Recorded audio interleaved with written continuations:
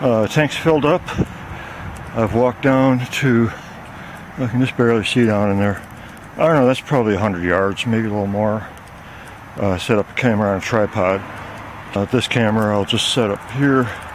Um, I don't know, that's about 10, 15 feet.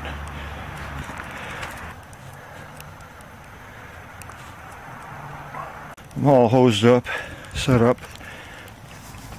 Not a whole lot of light left, so we're gonna let her rip here. Let's go. There we go.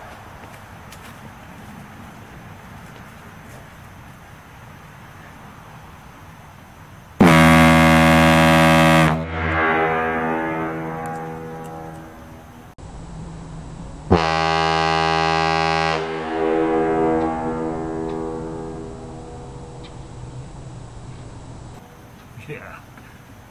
One more.